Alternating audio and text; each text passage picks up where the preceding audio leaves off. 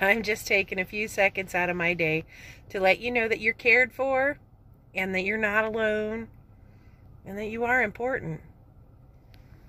Don't forget that.